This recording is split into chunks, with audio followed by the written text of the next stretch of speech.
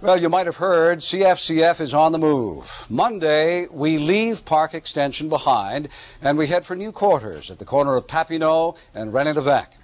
We, of course, look forward to reporting the news from one of the most modern facilities in the country. But still, we have mixed emotions about leaving our home of more than 40 years. Brian Britt looks back. Oh, there's even some stuff here from Dick Irvin's days.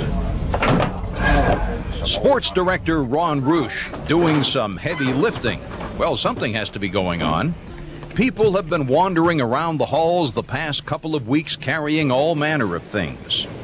I'm gonna show. I'm just gonna throw them out. They're like old logos and stuff. Look, has a 12 on it. Moving an entire television station is something like cleaning out the basement and the attic before moving to a new house, but of course on a much larger scale. Staff members are snapping up a few items, things are being thrown away, but still truckloads will be going to the new building. Among the things we are taking with us, 42 years of news. These boxes are filled with stories going back to 1960. Revolution to the October crisis of 1970, the Oka crisis, the ice storm, and 9 11.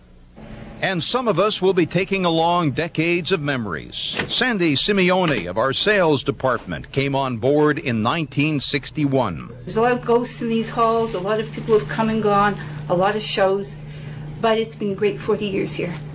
Now, for Sandy and the rest of us, it's time to move on. The move was absolutely necessary for us to accomplish and to bring us into, I guess, the year 2002 with the new technology. Uh, under this current structure, that was not possible. For news director Liz Travers, all this amounts to delivering the news and a new newsroom all at the same time. The challenge is when you when your very last newscast ends at uh, 12:05 and you have to be on the air the next day.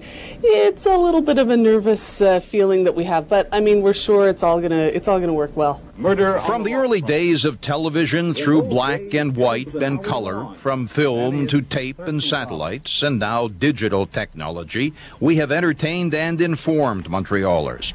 It all came to you from one of Montreal's best known addresses, 405 Ogilvy Avenue.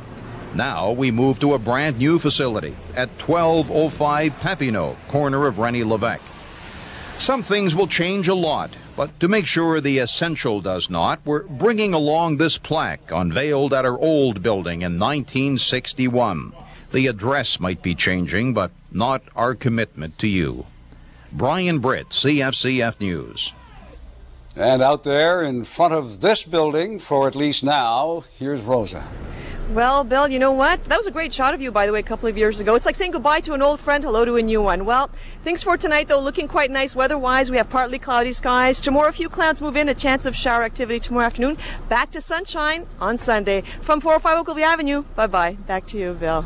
Thank you, Rosa. And uh, Mutsumi and I will be coming to you from 1205 Papineau come Monday evening. See you then. Have a good weekend.